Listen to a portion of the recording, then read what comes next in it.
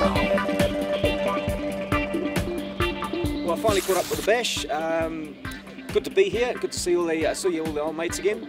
Caught them in Napier this morning, and we uh, we left uh, reasonably early and, and, reasonably nice weather to uh, to head to Tipperary School, where we delivered a beautiful printer and, and met some great uh, great country kids. Then it was off down the Napier Taupo Highway to lunch at Taupo, where uh, where that uh, kind of had its um, its ups and downs, and and a, and a 70 foot drop for some of our bash members, which went which went really well.